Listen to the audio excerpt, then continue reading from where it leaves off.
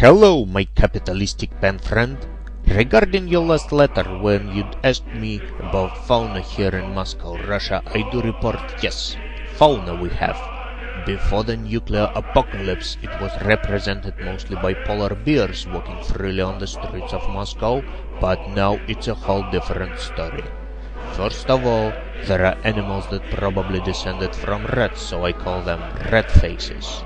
It takes just two shots in their heads from a revolver to kill these poor bastards. Yes, my dear foreign friend, they are weak and I even thought about having one as a pet. But they are not so easy to deal with after all, cause they tend to travel in packs. Take this picture and remember to send me one of yours you wrote me about that nasty mutant croc from New York sewers. Then there is another branch of rodent evolution, I call them meerkats.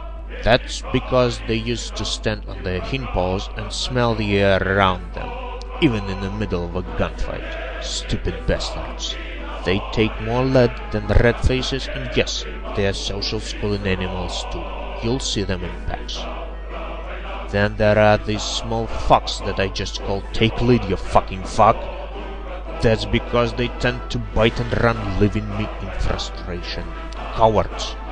And their bites, they really hurt. They are pretty small beasts and they mostly leave scars on your legs and your ass. Just don't let them rip off your balls, kid. Take this picture and take care, comrade. Then, my friend, there's another beast we call wind devil. They probably descended from bats. They are very big and very strong. They can take so much lead that I've never killed a single thing. Okay, I did, but either way it was scripted. You know, why spending your ammo on these beasts if you can run and hide?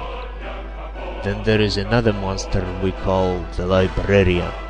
It doesn't read, of course, but dwells in the great library and the archives. Boy, this thing is an ammo eater. It takes six shots from a revolver and five shots from a shotgun straight into his stupid head just to make him angry, and then twice as much just to make him think he's got a headache. Thank God these things are not social animals after all. The last but not least are amoebas. To find this one you've got to visit a secret underground military headquarters called D6. Don't ask me for coordinates, comrade. It's highly classified and I've already have KGB on my tail. Amoebas just come to you and explode like hell. And they are infinitely respawning from some kind of amoeba spawns. Tactics are simple. Shoot amoebas that approach you and your partner and destroy all spawners just to stop them from respawning. Easy, you say? No, comrade, it's bloody expensive because it takes loads of precious ammo to kill these things. I believe this stuff evolved from some kind of biological weapon if it can evolve in every sense of the word. So that's pretty much all about fauna here in Moscow, Russia in the year 2033. Take care, dude comrade, and don't forget sending your crop pics. Sincerely yours, Artyom.